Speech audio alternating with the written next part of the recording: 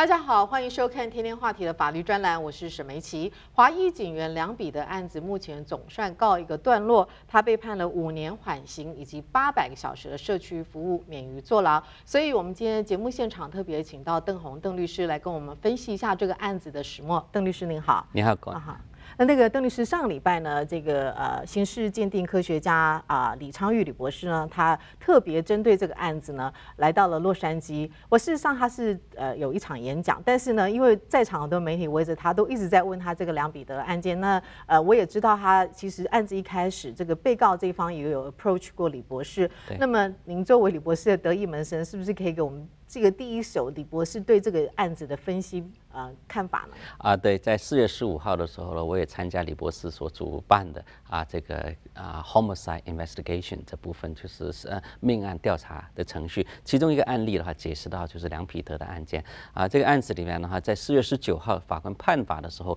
刚好我们在课堂上的话，也在研究这个案子啊，怎么防范警察开枪的事情啊。当然的话，这个案子啊，这个梁彼得。啊，在呃是二零呃一三年十呃十二月十一月二十号啊，他在巡逻这个叫 Pink House 在纽约里边的话，他这种平价公寓里边的话，从八楼开始，从上往下巡巡逻，这种叫 Vertical Patrol 啊。当然的话，就是说李博士其中一个助理啊，就是以前 Brown 这个地区里边的分局局长，他就说这个区里边的话是非常危险的，所以当然的话，他们都会教的警察都叫新手里面去练胆，所以他新手来的时候都派他们去练胆，练胆的时候从那个地方能够生存下来的话，那警察出呃基本上呢可以的话承受很大的压力。当然的话，Peter 跟另外一个新手的警察的话。按照指示的话来巡查，因为一个礼拜以前在那边呢发生个枪案，所以他确定一下子里边的居民不会有持枪的案子、开枪的事情，所以在从八楼巡呃的时候往下走的时候，刚好的电梯坏掉，他们必须要走走道下来，所以他从八楼开小道的时候的话，那这个 Peter 梁他是左拐子，用左手开拿的，他就拿起枪以后的话，这个推门往下走的时候，哎，不小心枪的话走火了。哎，更不巧里边的话，这个阿凯这个黑人跟他的女朋友，光要从五楼也往上走的时候，他们要走楼梯，为什么电梯坏掉了？哎，没想到的话，这个 Peter 两的子弹的话，弹了弹了几次以后，刚好将这个阿凯这个黑人的话打中他的身心脏部位，打中心脏部位了之后的话，这种情况之下，那 Peter 他不知道。呃，是是怎么发生？就有两个版本。P 代说的话，我不知道的话，子弹打中人，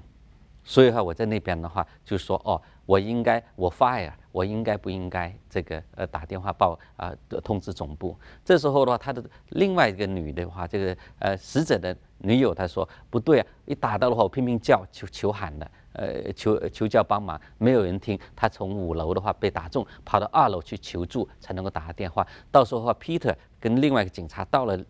楼，看到五楼的话，看到人倒在地上的时候是 What happened？那时候的话，他就忙在那边，也不打电话叫救护车，耽误了四五分钟。那当然的话，他这个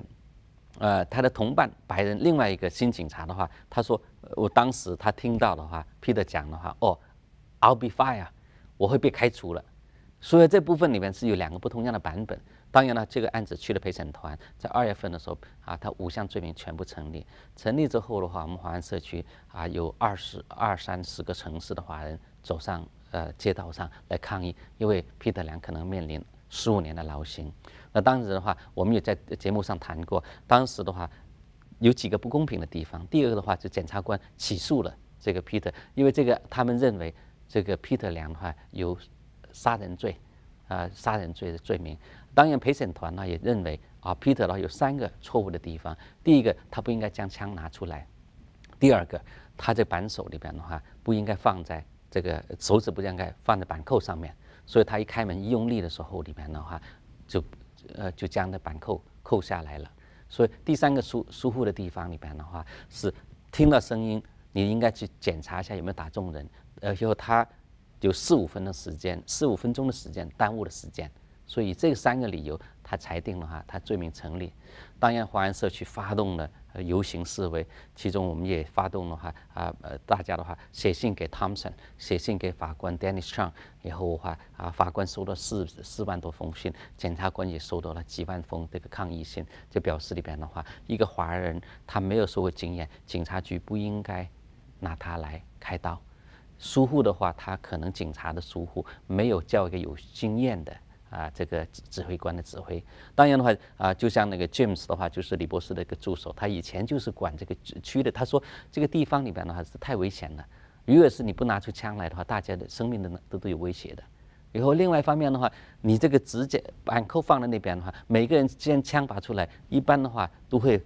很自然的放在那板扣那边去。所以话，另外一方面的话，所以这几点的话都可以用专家来证实。很可惜，当时的话，在辩护团队的时候，虽然李博士愿意义务去出庭做专家证人，但是辩护律师没有叫他去专家证呃证人。所以这个案子里边的话，被判的有罪之后，陪审团裁判有罪，他 Peter 梁可能面临十五年。但是在社区的力量之下，Kenneth Thompson 他宣布啊，我不寻求这个劳刑。那时候黑人不干了。他说：“哦，no justice, no peace。一个警察开枪杀杀人，居然不用坐牢。他们也说，如果是 Peter 的话，不判坐牢。我没有造反。这个就是我觉得很费解的地方。呃，他这个呃判决结果出来之后呢，还是有很多人感到不满。但是您在另外一个采访里面，您却提到说，其实这个判决是黑人跟华裔两造都不得罪的情况下做出的判决。对这个法庭里面呢，你要知道，法官的话，他要平衡社区的反弹。”你要知道，在过去在两三年以前，但是还是有人反弹啊。当然了，多少黑人的话被打死，被警察开枪打死，警察没有被起诉。所以话很不幸里边的话是 Peter 刚好是穿上警服，他不是他被起诉，啊，黑人不满不是因为他是华人，而是因为他是警察，警察开枪不接受惩罚，所以他们黑人觉得的话这是种族歧视的，是不公平的。但是华人里边呢，就是说那么多的白人，警察开枪了，你都不起诉。为什么啊挑一个华人的起诉呢？这也是两个社区不同样的声音。那检察官他宣布我不寻求劳刑的时候，黑人他自己的团队团社区黑人社区就马上说哦我要造反。那同样的，如果你判罚他坐牢，华人社区会继续抗争下去。这种情况下，Dennis Chang 的话，他做了一个侧重的方法。那法官里边的话，就是说在判罚的时候，他说他将杀人罪。降为过失杀人罪，杀人罪里边呢，就是说，好像我醉酒驾车，或者这这个大群人里边，我就看到知道有人开枪的这种严重性的，不理会别人生命的这种情况之下是杀人罪。但是过失杀人罪里边的话，就是说你疏忽而造成死亡案件，所以这一类的话罪名降下来了。但是检察官他当时的话，他说我要要求五百个小时的义工，哎，法官重罚他了八百个小时。不用，虽然不用坐牢，但是从五百个变成八百个，那这两个里边呢，看起来两个双方都不满意。检察官的话认为，这个是陪审团裁决的，是杀人罪 （manslaughter），你变成一个 negligence，这个 manslaughter 的话，这种的话是不对的，所以他要上诉。哎，这种的话，让黑人的社区的话感觉到，你看看的话，检察官也认为法官的判的不公平，也要上诉。华人这部分里边的话。他我本来是要坐牢的，现在不用坐牢了。以后啊，时间这部分呢已经提高了，所以同样的，法官会将你所要求的，你所要求的话，这个杀人罪变成一个误杀罪，也抚平了华人的不满。所以这种情况下，当然的话，因为他重罚了，以后辩方律师也说要上诉，一上诉的话，拖上去大概要两三年。以后上诉的结果里边的话。百分之九十都是维持原判，但是这场政绩危机就解除掉了。以后到时两三年之后，法院判下来维持原判，谁还会出去上上街游行？没有了。所以这个法官是聪明聪明之处的话，就是说两边都有得到一一点，两边都不满，两边都会继续上诉。以后 buying some time，以后过一段时间就大家淡忘了这个案件了，大家就再也不会来炒作这个事情。但是，呃，话又说回来，我们看任何个案子的判决都是要从证据来说话嘛。那即使在上诉，你说维持原判的可能性很高，嗯，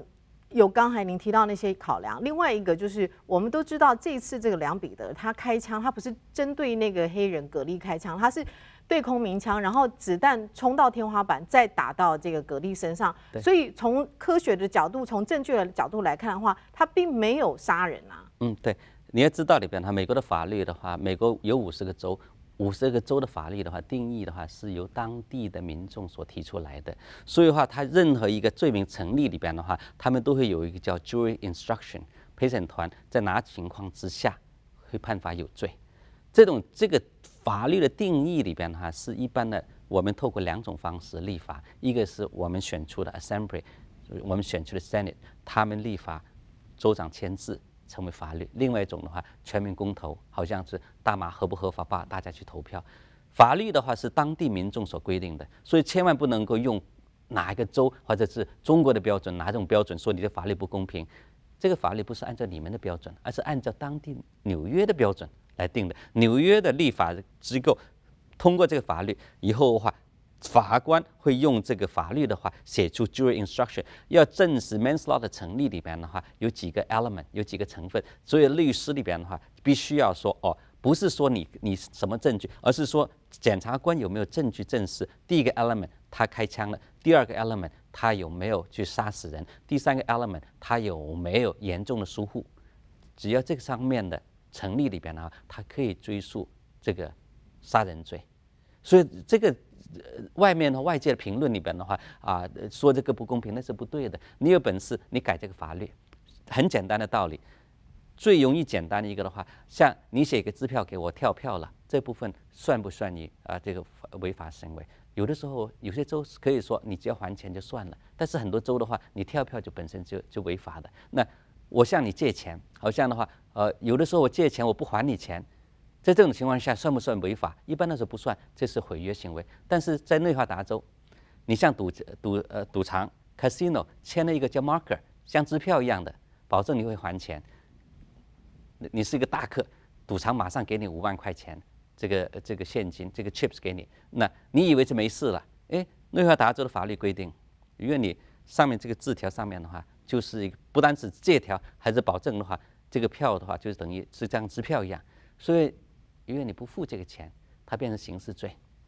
所以很多游客里边，中国游客的话回国去了，以为没事，我反正签赌赌场的话，呃，我已经让他赚多了，输多了，我还要这这五万块钱算什么？不理会。但是这个案子变成刑事案件，一入关的时候马上被逮捕。为什么？因为内华达州的法规里边的话，它是为了维护赌场利益的。他们的法律的就是说，如果你签了这份这个借条，就像等于签支票一样，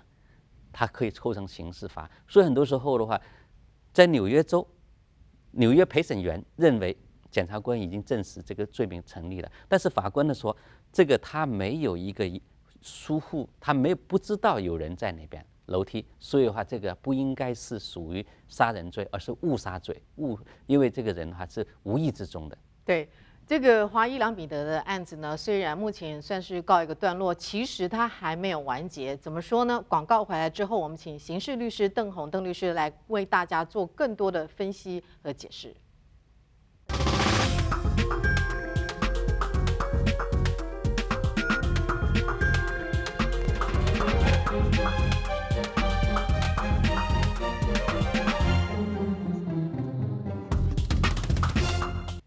大家好，欢迎回到天天话题的法律专栏现场。为您请到的律师是刑事律师邓红邓律师。呃，邓律师，我们刚刚提到就是梁彼得案子，虽然目前出现的这个五年缓刑啊，八百个小时社区服务的判决结果，但是这个案子还没有完结。对。呃，最主要是因为，就像我们刚刚在进广告之前您谈到，就是说，呃，要看哪一个。州呢，怎么样来诠释哪一条法律？那么，呃，我们我您刚刚解释非常清楚，就是说，这个梁彼得他虽然他那枪不是针对呃受害者开的，可是呢，呃，检察官他是从某某个角度来解释，就是说，呃，梁彼得即使是这样对空鸣枪，子弹打到了受害者，也算是一种杀人罪。嗯哼，对，当然的话就是说，死者家属有两个渠道可以伸张正义，第一个的话要求刑事起诉。啊，检察官认为里边的话，你要知道这个检察官 Kenneth Thompson 两年以前呢，也是从 Brown，他是个黑人，Brown 里边这个地区里边的话，他是啊是黑人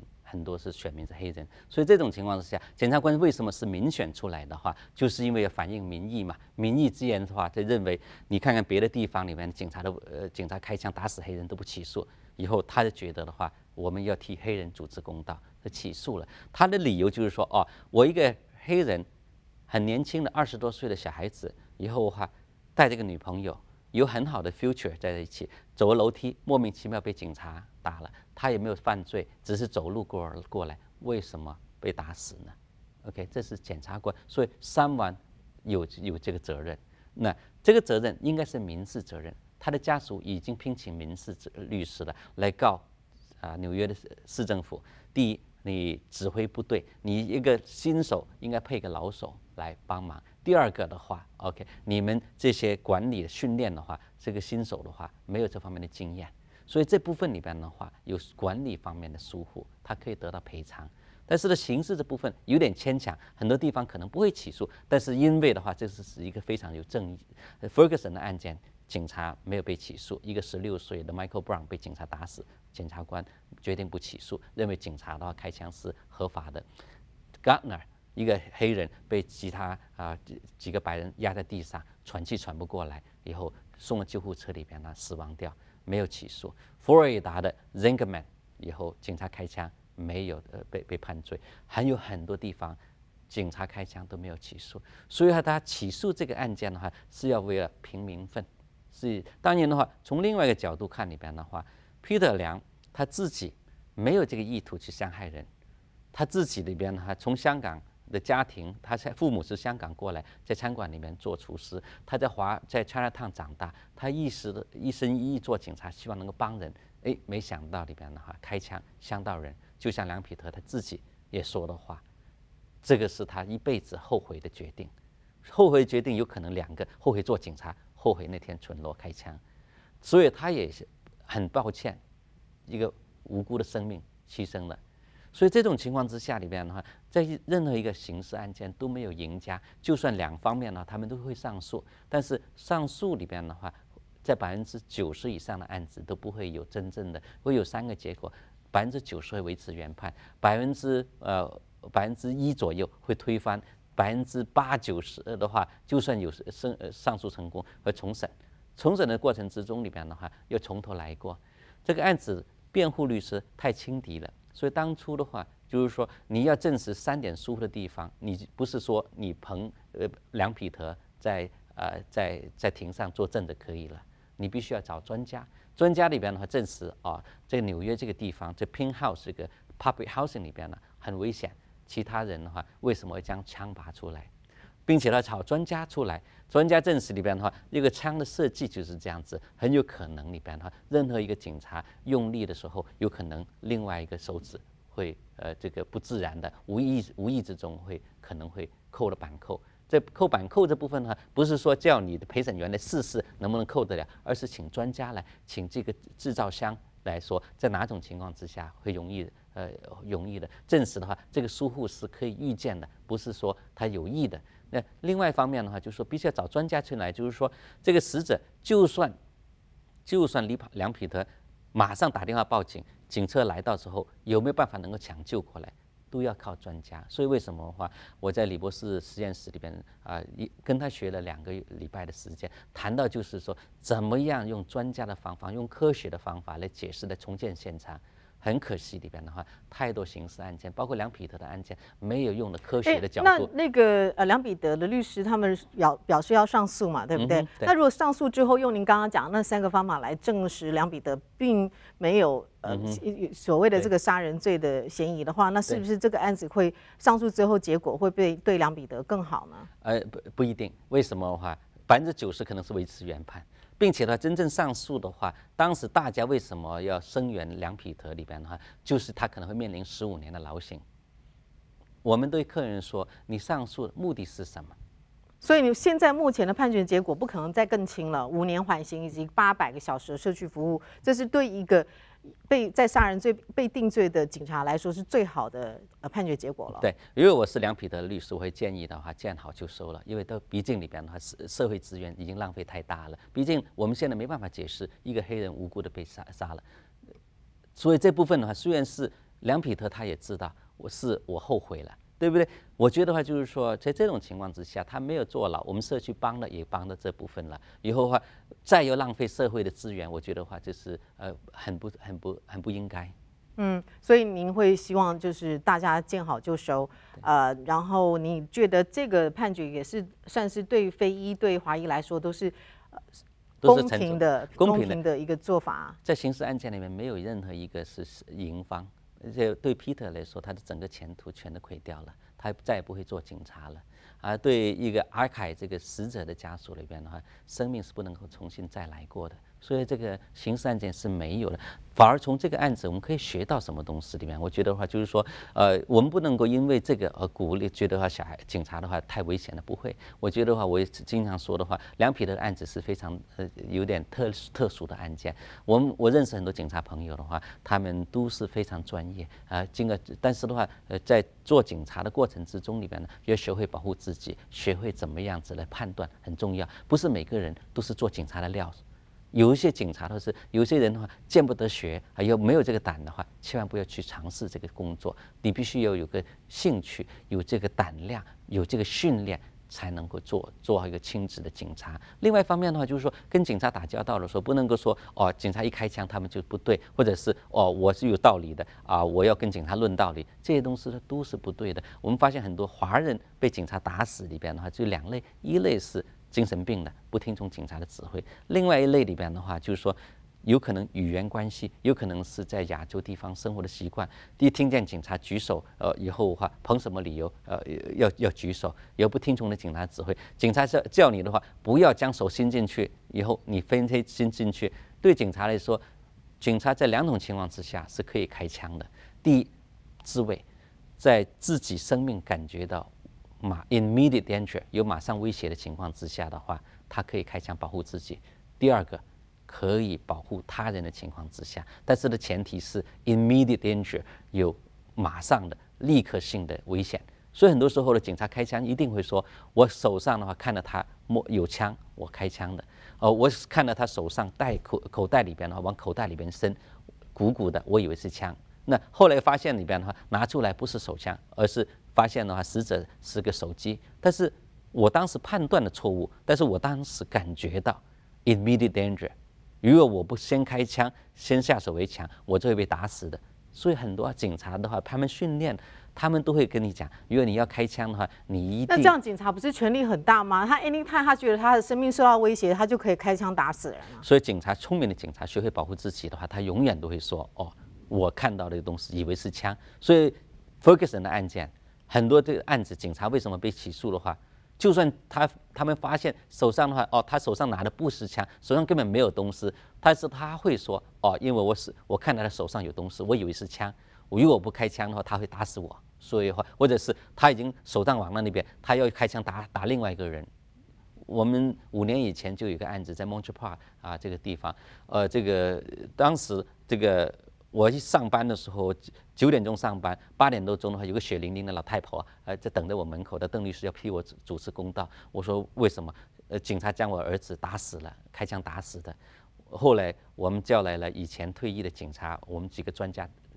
坐在一起听，他说什么发生了？他说：“哦，我儿子是有神经病的。以后啊，他突然间啊醒过来要杀我，追杀我。我大儿子听到的话，他追杀我的情况之下，拿了刀打电话给警察了。所以他在追我的时候，警察冲进门来一边了啊啊！以后啊，那个这时候的话，呃，我这个死者这个这个儿子疯儿子拉住我的手。那时候的话，警察呃他是右手拿了刀，警察也没有警告他，直接开枪打死了，打死他。那这个案子里边的话，就是说警察有没有办法开枪？”警察，我们重演了现场，我们发现的话，警察的版本的话，我看得冲进去。如果我不将他开枪打死，这个老太婆就会被被被被被打死的。所以这老太婆里边的话，就是呃，这个老太太的话，就说她是疯子，但是为什么非要将她打死呢？以后的话，呃，你看她，因为刚好儿子打的时候打的都是打的头部、打的胸部这部分，她说为什么呃打打的我满身都是这样子？以后为什么警察开枪是致命呢？警察的开枪里边的话，他要么不开枪，要开枪绝对是致命的。第一，你不致命就表示这个危险不是致命，你没有必要去开枪的。嗯，所以对。第二个里边的话，死无对证，所以第三个里边的话，警察开枪，他要知道的话，你他打的不同样的地位地呃部位的话，还要反弹。所以警察开枪呢，一定是连续性开枪的。是，谢谢邓律师为我们这解释的这么详细啊。呃，其实呢，法律是为有备而来的人准备，而您准备好了吗？谢谢您的收看，我们下礼拜再见。